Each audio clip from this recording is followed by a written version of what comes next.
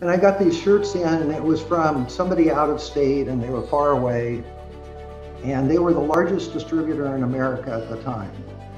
And I got some Hanes, I got some Fruit of the Loom, I got some 50 50, some cotton, and I must have had five or six different shades of yellow. And it just wasn't going to work. So I called them up and I said, here's what I ordered, here's what you shipped. Um, we need to make this right. And they go, you're COD, we have your money, you got the shirts, the deal's done.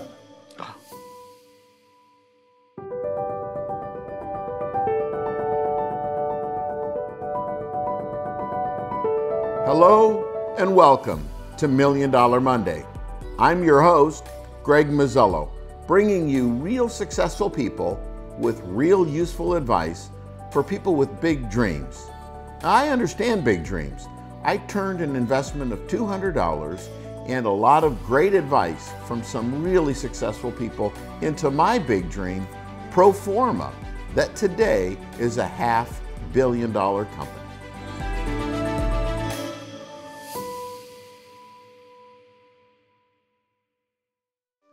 Hello and welcome. I'm excited to introduce our guest for today. And if you've ever worn a t shirt, if you've ever worn a polo shirt with a brand on it, with a company logo on it, any kind of a shirt that might have been from Nike or Eddie Bauer or Champion or Carhartt, Gildan, Hanes, and more, uh, you've worn some of this guy's clothes. and and uh, it's an exciting story about a a man that uh, started a business in college uh, and built it to something that has approached two and a half billion dollars in sales with 10 distribution centers, five and a half million square feet of inventory space, uh, a phenomenal success story.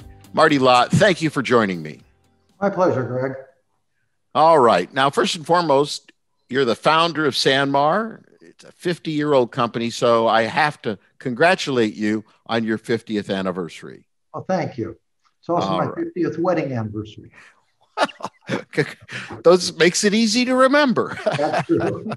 All right. So I want to get to the story about the college and the founding of Sanmar, but let's back up to even when you were younger, when you were growing up as a boy. Tell us about the situation you grew up in. Where did you get your motivation?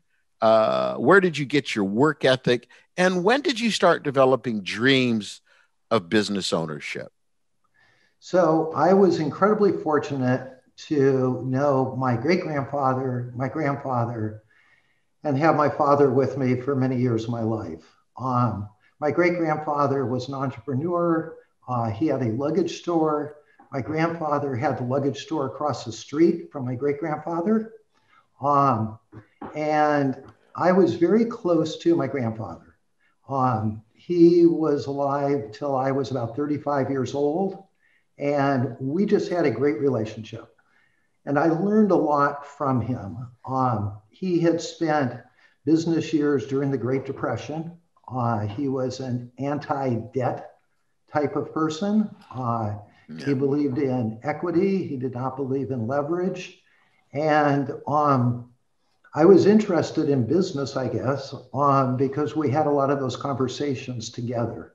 Um, my dad was in business for himself, and um, I actually started working when I was about 13 years old.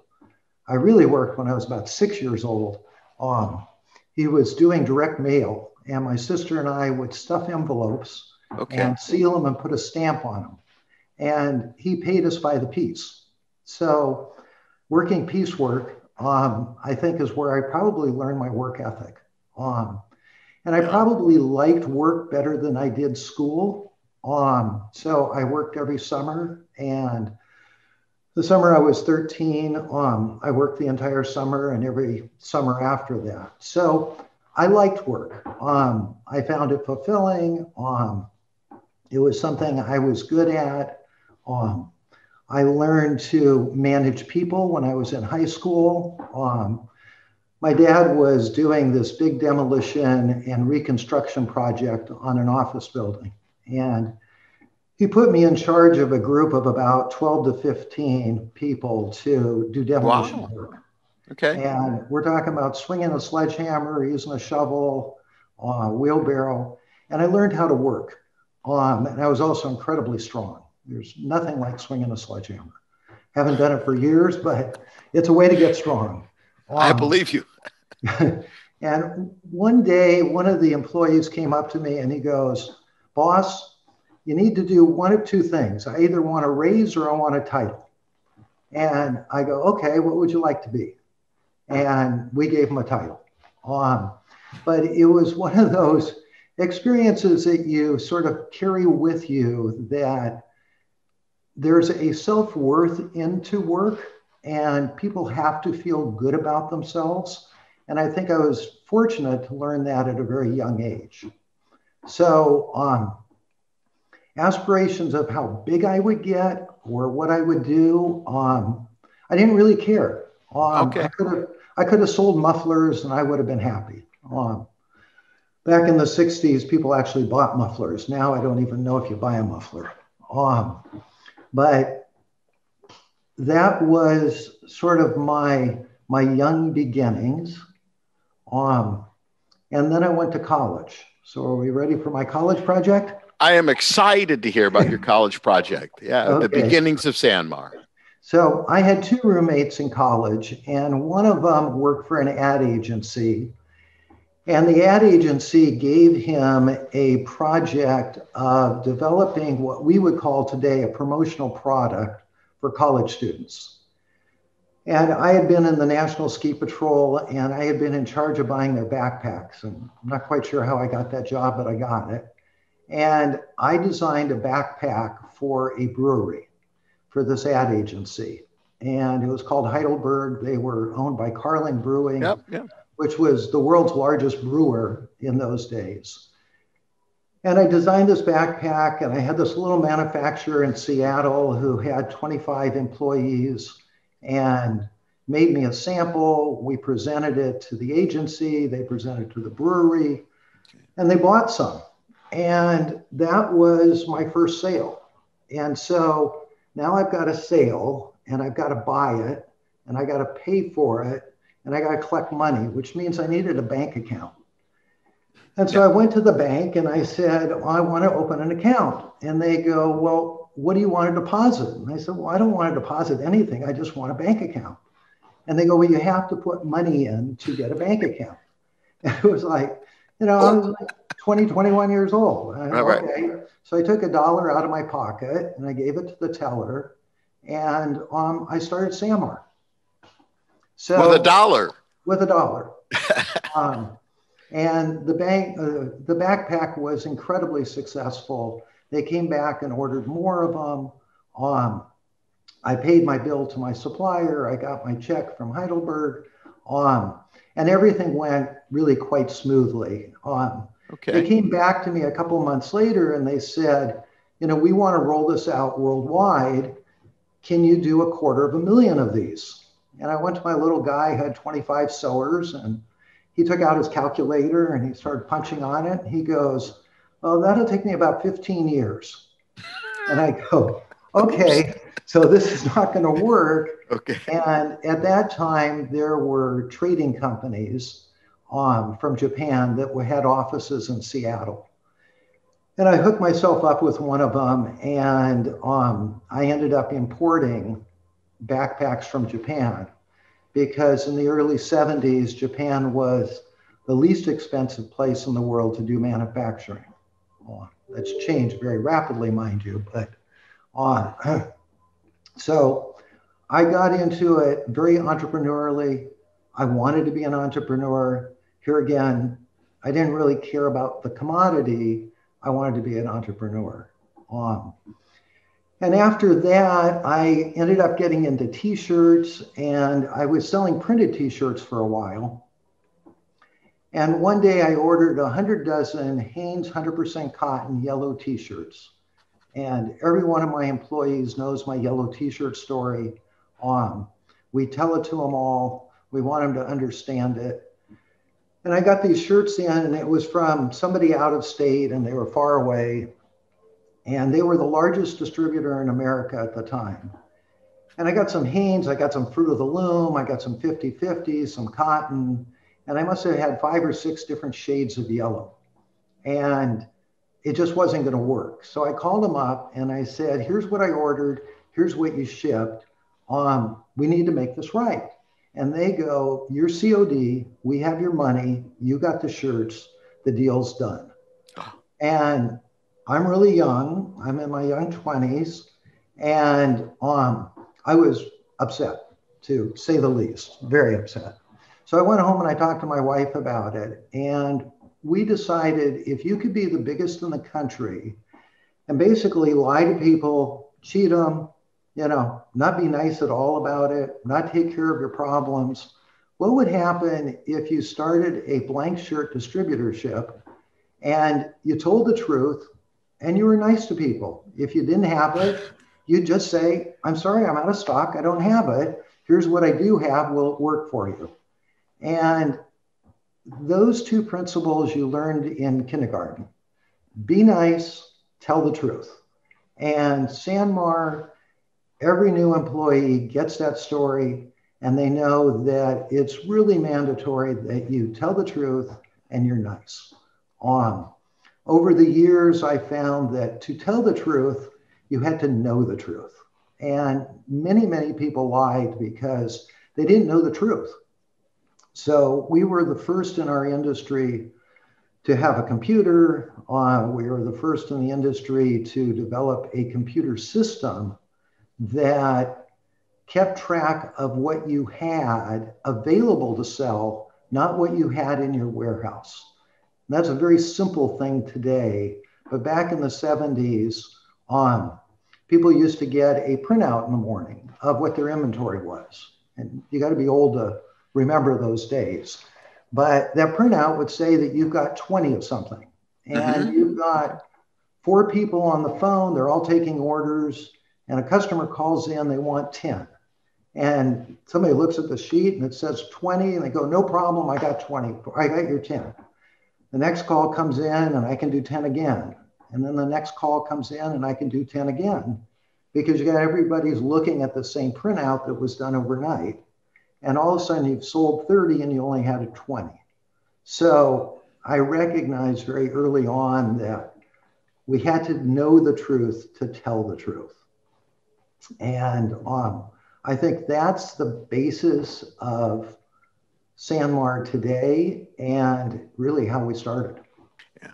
So back in those early days, how did you drive awareness? Was your model still the same that you were selling to distributors and decorators as a wholesaler? Uh, or when did that business model um, start to show up? So during the 70s and early 80s, the vast majority of the business was to screen printers and t shirt shops, anybody who embellished products. Right. Uh, the ad specialty customer really didn't come into play until the later 80s and early 90s on. And the way we built our business was the old fashioned way. We had a good customer in Seattle. Somebody came over from Yakima, which is 150 miles away. They saw my customer. They asked him, Where do you get your goods? We got them from Sanmar. So the person in Yakima bought them. Then somebody from Spokane went to Yakima they heard that story, and then Boise, and it just kind of it was word of mouth. On it was there was no printed material, there was no email blasts in those days. No, um, no, no. There was no really lists of people that were available. I think I went to my first trade show in 76 was the first impression show. And uh, it was in Dallas, Texas. Uh, and that was the first time I went to a trade show and actually handed out catalogs. So word of mouth, good customers spread the word. I also read that you didn't take any pay for the first seven years, I think I read. That's correct. So from the business. For so because of my grandfather and his um, knowledge that he imparted upon me of not having debt, I had a part time job and my wife was a school teacher. And so for seven years, every penny I made, I reinvested back in the company. And then after that, I made the commitment that because I was in the inventory business, I would have to reinvest the vast majority of what I made every year back into the business. And yeah. until this day, we still do that. All right. So you've been 50 years in business and you've achieved a lot of remarkable success. Uh, by most standards, you're the largest uh, participant in our industry, which is more on the promotional products, uh, decorated apparel side, or whatever the right words are. Um, tell me a few stories, if you would, about some of the high highs. Also, what were some of the lowest moments? Like, did you ever think you weren't going to make it? Um, so we'll, we'll take a high high. Okay. Um, 99 was a high high. And um, 01 was a real learning lesson. So in 99, you could not do anything wrong. There was so much money, especially on the West Coast, because of Silicon Valley, all the IPO parties that they were having, and they just wanted to spend money. There was a time in 99 when Cisco sent out an email to all of their managers that said, We're making too much money. We don't want Wall Street to see it this year. Spend money. And they bought promotional products. And we just thought we were the best thing since sliced bread. We were selling stuff like crazy. And then 01 came and it was like, wow, we weren't so good after all. You know, we were taking advantage of a market situation that we didn't create. And I really learned something there. But I want to talk about another low because I think it was one of our better learning lessons. Somewhere, I think it was around 05, 06, 07, we had a computer that went down on a Monday around noon. And in those days, you weren't using the cloud. And when your computer went down, you were yeah. done. Right. And so we didn't know why it went down. We just knew that we couldn't access it. And the programmers were working on it, trying to get us back. And we told our customers, our computer is down if we haven't shipped it, we're not going to be able to ship it, but we don't know what we've shipped today. So, and we don't know what orders we took. So, yes, we may have taken an order from you, but we don't know what it is. And we came up with a philosophy that make it right for the customer. Whatever the customer wants, just make it right. Well, the computer didn't come back up until Wednesday afternoon. Oh, my. And on Tuesday, we had a customer who called us, and we never got the customer service person's name, but they talked to somebody in customer service and they said, I placed an order with you on Monday. Mm-hmm. You charged my credit card. I'm now in a hotel and I can't check out because you told me to buy it from someone else and I did, but I've maxed out on my credit card because of you.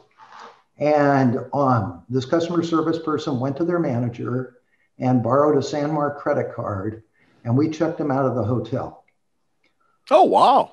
We had no proof that we had taken their order, no proof of anything. It was just, you're going to do the right thing. And it just seemed like the right thing to do for this person. And so that kind of set a tone within the company that being nice can go a long ways. And what is the definition of being nice? Well, part of it is to do the right thing. And the right thing at that time was to check this person out. Okay. Let them leave the hotel, trust them. You can mark it down. We'll figure it out when the computer comes back up. You know, this yeah. we can take care of it later. Yeah. Uh, so that was one of the lower lows of the company when the computer went down. um, we never lost a customer because of it. Uh, we told people the truth.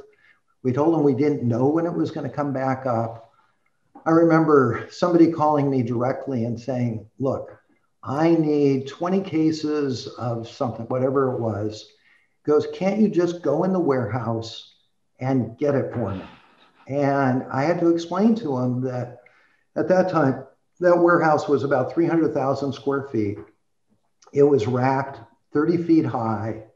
Whatever he wanted was in a rack. And we didn't know which rack or where it was. And there was no way we could go and get him those cases. Forget billing him or taking the order. Yeah, yeah, yeah. We just couldn't help him. And um, that was that was a tough time.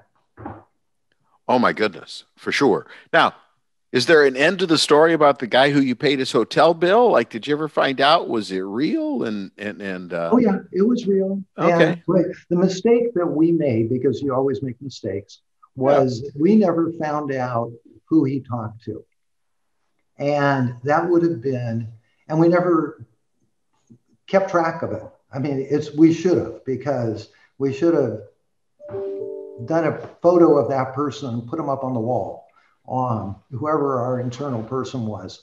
But no, we just know that it happened, and we didn't think it was we didn't think it was a big deal. And now I'm telling you, whatever it is, 15 years later, it was a big deal. It was the right thing to do. Yeah, those stories really help cement in people's minds the words, like just the words themselves can ring hollow or empty, but that epitomizes what does it really mean to be nice? What do those words mean if we're putting them on the wall or wherever we might be talking about them? So I love that story. And we it's tell that story. story to new people also. yeah, it's a great story. So mindset is everything, Marty, I think in business. I think believing you can achieve something. Well, what did you always believe, even from those earliest days, that you were going to build something big, something successful, um, even though there might have been speed bumps in the road? Were you always confident that something great was going to happen for Sanmar? Um, so great is hard to define. I um. I think I'll take it in two parts. 1st uh-huh. my goal was always to do better today than I did yesterday. Okay. And wanting to do better tomorrow than I'm doing today. So that was really the goal. If you look at what we sell, we do more now in a two week period than the entire industry did in 12 months when I started.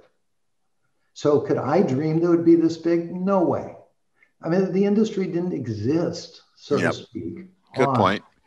So I just knew that I could do better. And look, I've been very, very fortunate that the industry grew, the popularity grew. You know, you threw out some numbers. I'll give you another number, and that is that we basically sell a product, whether it's a shirt or a bag or a jacket, for everybody in America every year. That's an amazing stat. That's that's a lot of product. And we got into building our own product in the mid 90s because we felt we could do it better than our suppliers were doing it at that time. And that's exactly what we did.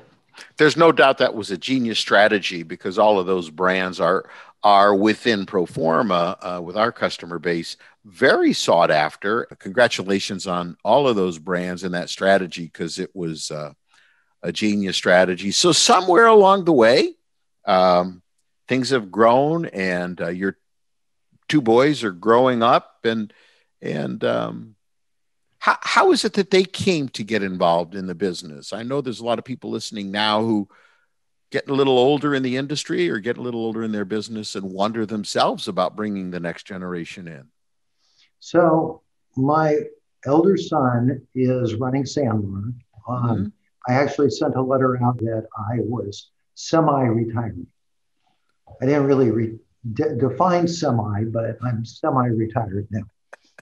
Um, and he's told a story because people always ask him, How long have you been in the business? And he would tell the story he's been in the business since birth. And a lot of his friends, yeah. when they were young, would talk about sports at the dinner table. And although I like sports, I liked business better. So we would talk about business. And when they were incredibly young, two, three, four, five years old, we were talking about business at the dinner table. So they've been in it since birth. Um, and they got in it because I was so excited about it. And I think they saw it as a wonderful opportunity. They could have gone into business doing something else, and that would have been fine. But um, I think they saw my enthusiasm, and I love working with my sons. I think it's just one of the best things in the world to do. For sure. Yeah. We have uh, a number of our children coming into the business and some of their um, spouses or fiancés. And um, it's an exciting time because at some point, no matter how much money you make, uh, it doesn't really matter. Um, enjoying life and seeing the next generation do well and passing along the those values and that education and and and, and letting them try to grow the business to the next level whatever that means and however it'll get done is uh, it's exciting. No, I get it. And I enjoy, I don't know your other son. I enjoy my conversations with Jeremy. He seems very bright um, and, and, and, and very on top of things. And I, I'll tell you a story. So uh, uh, one time I was supposed to find you and I, uh, we were at a show and I had an idea. I wanted to discuss this idea with you. And, and this is when I learned a lot about you. And, and, and, and, and I thought you'd say, Hey, come to my room. Let's have a private conversation. But you didn't. You said, come to my booth. And I thought, this guy works in his booth. sure enough, I went down there, Marty, and I know you probably don't even remember, but you were busy working away with all the different people walking by, and you were as if it might have only been your second year in the company, just happily showing people product, talking with people, and working right alongside all of your other employees. And I thought, what a great example that. Uh, there's no hierarchy. I didn't see any hierarchy or any pride. You just seemed happy to be working side by side with your team and uh, treating them all as equals. It, that was very impressive to me. Oh, well, thank you. And I did thoroughly enjoy doing that. All right. Two more questions, and uh, I, I really am appreciating our time. First and foremost, good for you. 50 years into hard work, sacrifice, not taking a paycheck for seven years, and a lot more. Um, clearly, it's on to the next chapter, the next season in your life. What are your big dreams now? This new chapter of your life, being retired, whatever that means. So, uh, I don't think I would have said this maybe a year ago, but uh, staying healthy, yes, I think is probably number one on the list. Um, I want to see Sanmar succeed. Um, I'd like to be around to see my grandchildren involved in the business. Um, we are a family business. And the reason you don't know one of my sons is that I sort of split our business in two parts. And my younger son runs our real estate business, which is quite substantial. And my older son runs Sanmar. So keep them somewhat separate. But um, my wife and I, um, are spending time with our grandchildren. We've probably seen them more during COVID because we haven't seen anybody else. So we had to limit who we could and couldn't see. And on. So we're actually seeing our grandchildren, which has been wonderful. So staying healthy was number one. Um, seeing the company continue to grow, seeing the family involved in it. Um, I would get no pleasure at all in seeing the company get sold and a bunch of money no. coming our way. That would no. that would not be a no. positive to me at all. No. So um, those are really, you know, I play golf. We go snow skiing. We ride bikes. Uh, we walk on beaches. On, um, I love doing all those things, and um, hopefully, I'll be doing for many, many more years. Yeah, hopefully for all of us. Uh, you're a good guy and a good man. Uh, and final question is there are a lot of people listening, maybe in our industry, maybe in all kinds of different industries, different ages, different dreams, but nonetheless, some folks who have big dreams, some of them maybe have been interrupted. Their dreams have maybe been interrupted a, a, a little bit by all this COVID stuff.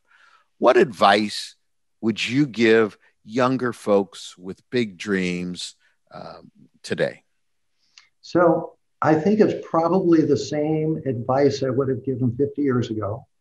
And that is, and frankly, my grandparents probably would have found the same advice on. My grandparents and great grandparents sold luggage to people who were going to Alaska for the gold rush. Okay? They found a niche and they, I don't know if exploited is the right word, but worked the niche. And in today's world, you know, Sanmar has thousands of customers. They all have slightly different niches your niche is different than your competitors' niches. And even though you may have a sales associate that has a similar niche to someone else, if they're being successful in their town, in their region, they found a niche and they're working it. And here again, whether it's mufflers or, you know, who would have ever thought electric cars would be a niche? Uh, clearly a pretty good niche. Um, so find a niche and work that niche. Don't expect it to explode overnight. Um, I think too many people get discouraged if it doesn't happen immediately. Um, it does take hard work, it takes dedication. But I'll always go back to my two two basics tell the truth and be nice. And yeah. if you can do that, I think you can be successful. Yeah, Marty, inspirational. Again, congratulations to you on your 50th anniversary of Sanmar. Congratulations to you on bringing your family into the business and uh, wishing you and Sharon a great time in Hawaii. Thank you for joining us from Hawaii. And uh, looking forward to your living a long life and seeing you again soon at a trade show. Thank you, Marty. Well, thank you, Greg, for having me.